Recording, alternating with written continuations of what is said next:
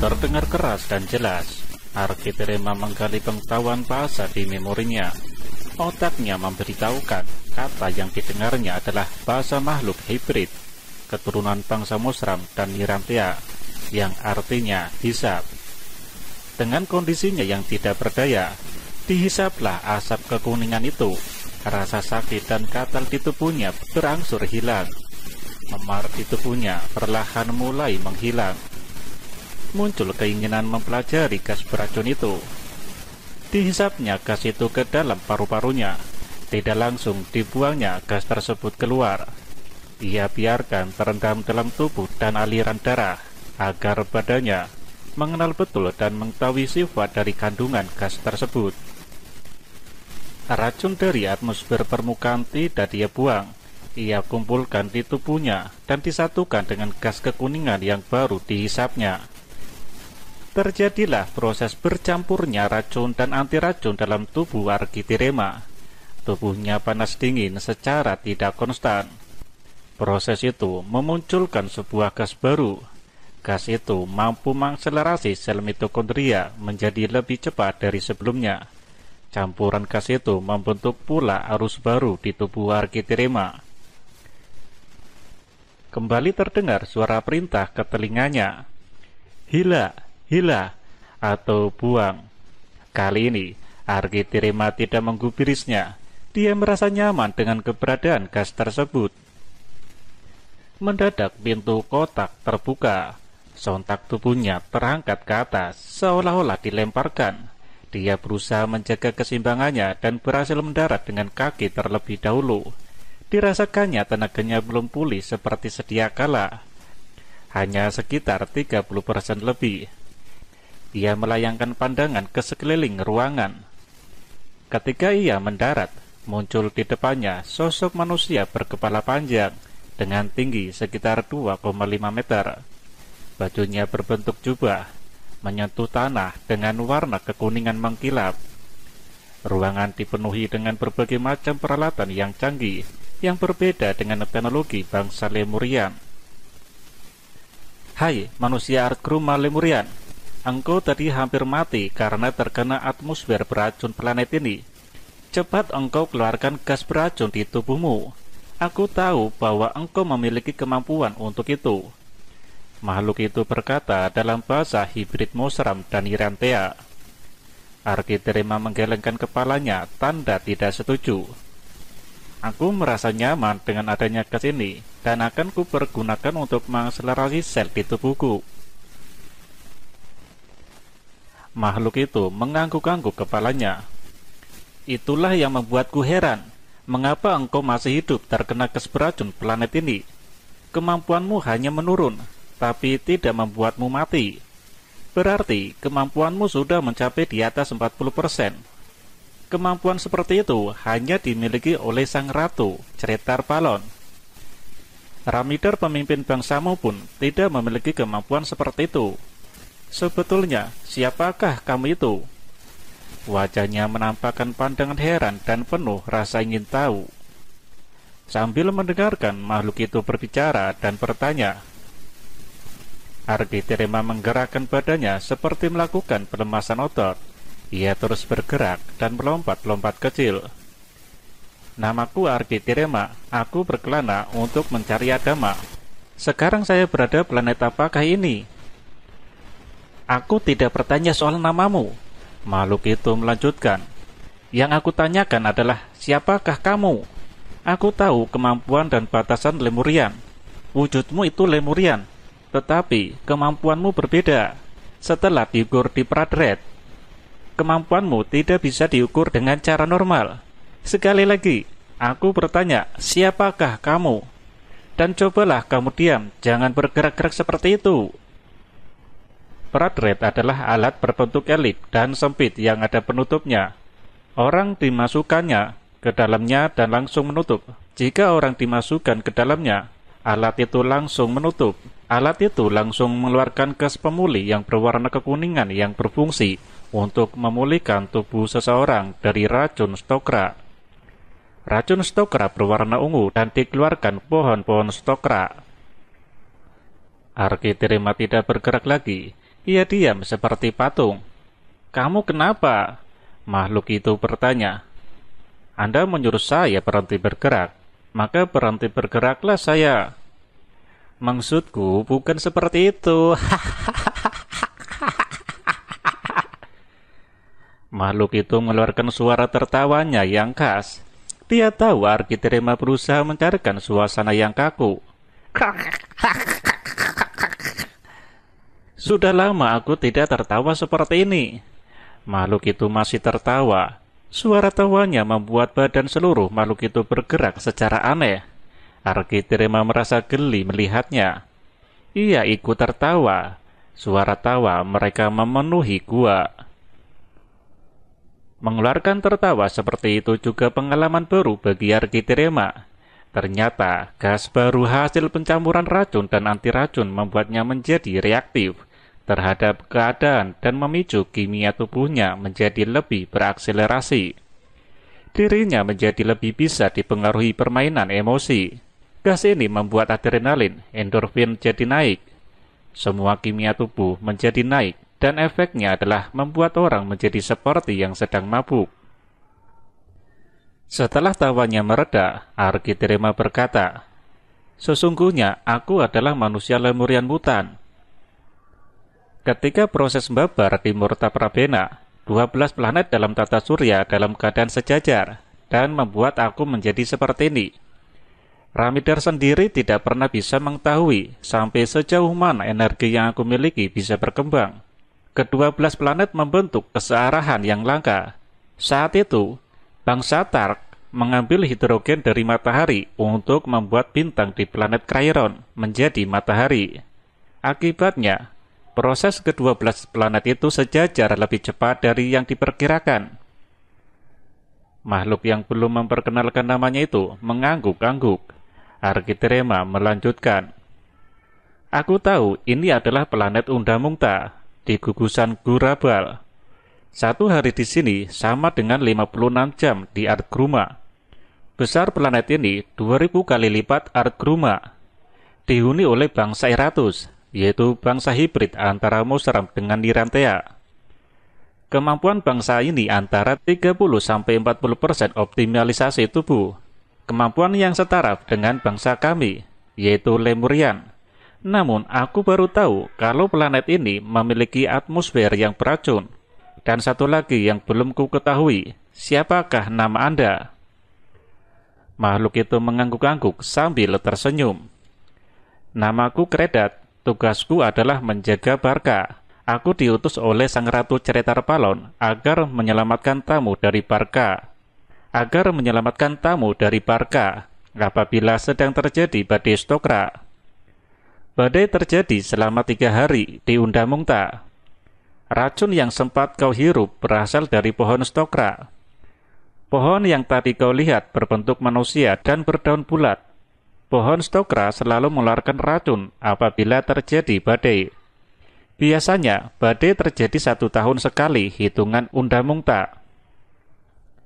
Apabila tidak terjadi badai, pohon tersebut tidak mengeluarkan racun. Bahkan cairan getah pohon itu bisa dijadikan obat pemulih. Badai ini sudah berlangsung selama dua hari lagi. Beberapa jam lagi ia akan berhenti. Setelah itu, barulah kita akan menghadap sang ratu. Arkiterema hanya tersenyum dan mengangguk. Dua jam kemudian, mesin tirai angin berhenti secara otomatis. Lampu hijau tanda aman menyala. Kredat mengajak Arkiterema keluar dari lorong. Di luar, mereka disuguhi pemandangan yang berbeda.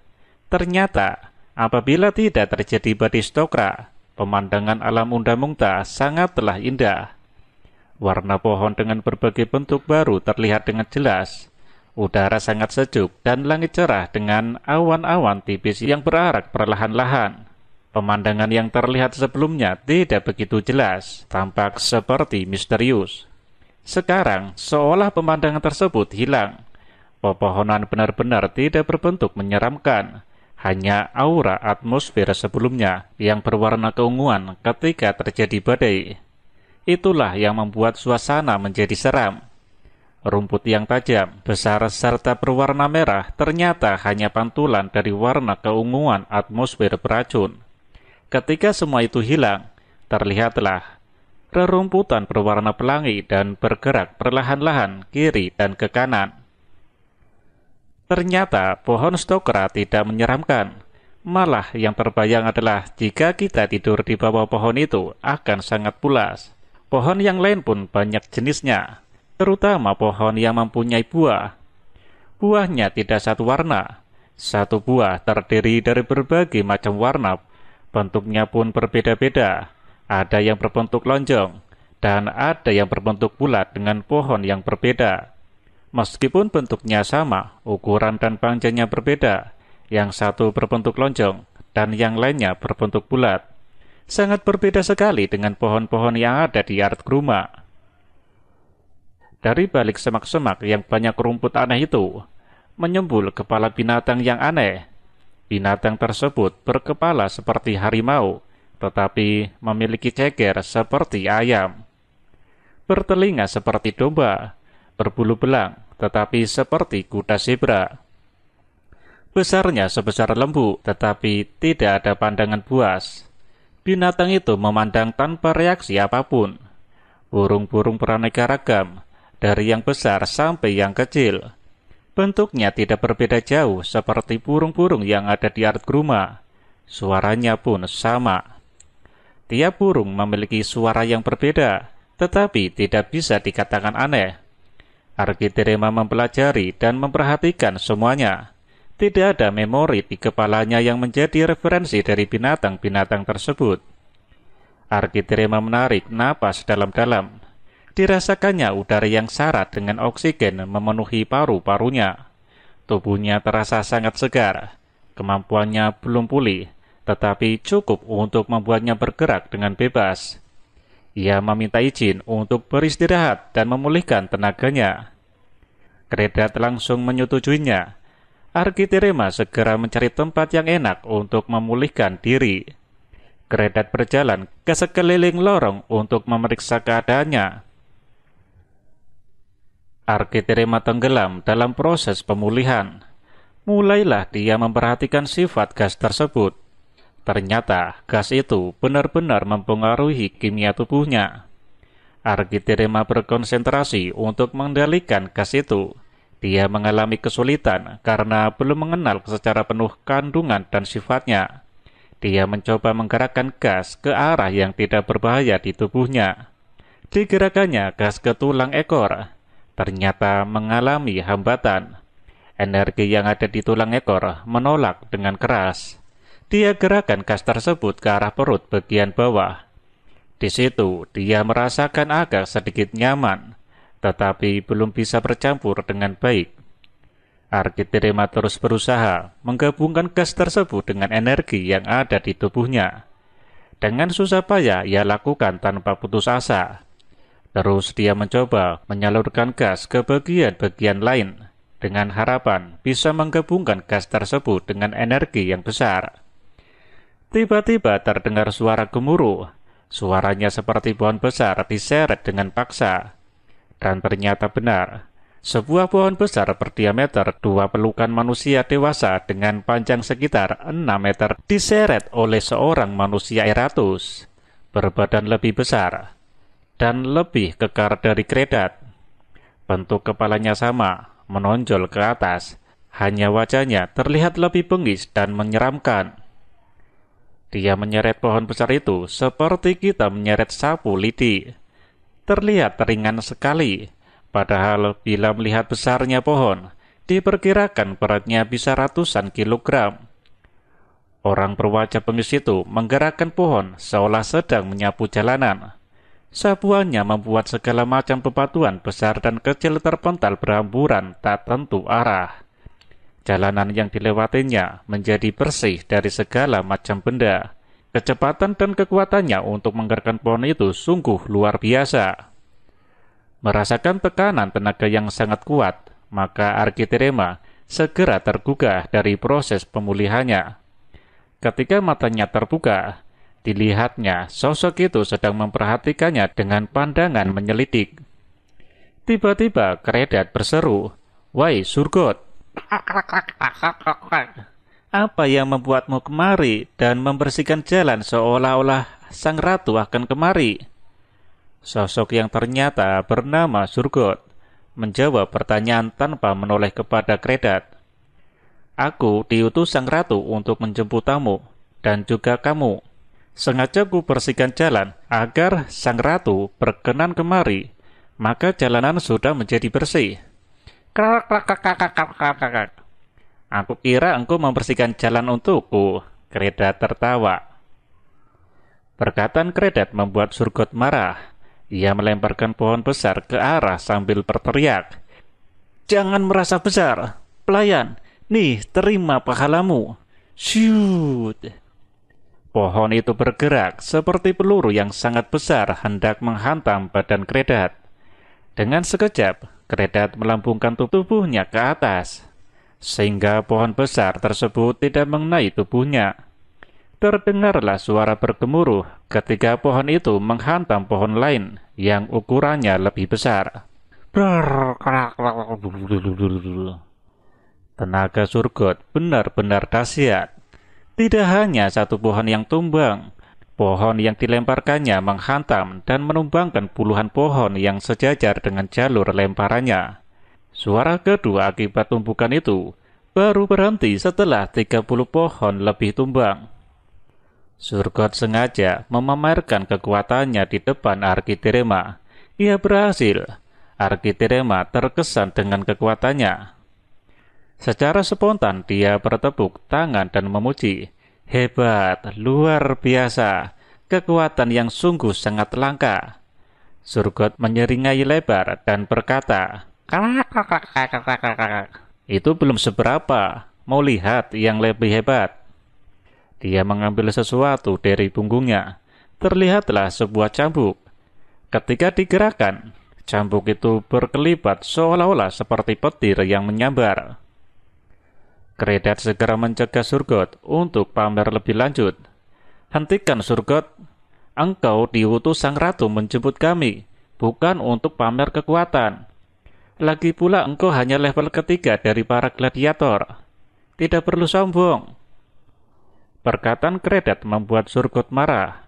Tidak perlu kamu bermulut luas dan jahat. Rasakan ini. Cambuknya diangkat tinggi-tinggi. Sebelum Surgot berbuat apa-apa, Terdengar suara melengking tinggi di kejauhan. Wajahnya seketika terlihat menjadi pucat ketakutan. Ia segera berlutut ke arah suara melengking tersebut sambil berkata, Kami segera datang menghadap. Tanpa menoleh, dia melompat sangat jauh sambil berkata, Kalian, ikuti aku. Tanpa berkata sepatah pun, Arkitirema dan Kredat segera mengejar Surgot. Kecepatan lari dan lompatan Surgot benar-benar hebat. Jarak 100 meter ditempuhnya dengan sekali loncatan. Tubuhnya seperti bola yang memantul dengan kecepatan tinggi, namun Arkitirema dan Kredat mampu mengimbanginya dengan baik. Hal itu membuat Surgot penasaran. Dia menambah kecepatannya agar bisa meninggalkan mereka berdua jauh di belakang. Sepertinya Surgot ingin memamerkan di depan khalayak ramai bahwa dirinya lebih hebat dari mereka. Surgot memandang lurus ke depan dengan konsentrasi dan pengerahan tenaga penuh. Kekuatan daya lontarnya menjadi lebih hebat dari sebelumnya. Tubuhnya bergerak bagaikan kilat, seolah-olah tidak menyentuh tanah. Loncatan badannya yang besar terdengar seperti angin topan yang menderu-deru.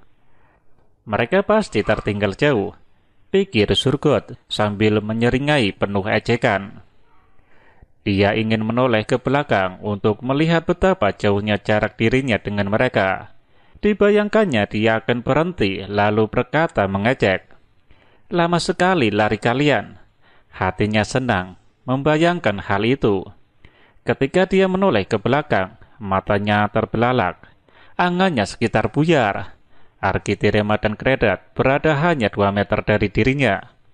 Kredat berlari dengan pengerahan tenaga dan mampu mengimbanginya, tetapi Arkitirema membuatnya semakin terbelalak. Ia terlihat santai. Arkitirema seperti sedang berjalan di taman, Kepalanya menoleh ke sana kemari menikmati pemandangan. Kedua tangannya digenggam di belakang tubuhnya, seperti orang sedang beristirahat, namun kakinya bergerak seperti kitiran. Surgot menurunkan kecepatannya dengan malu hati. Untunglah mereka sudah tiba di depan gerbang istana Ratu Ceretar Palon.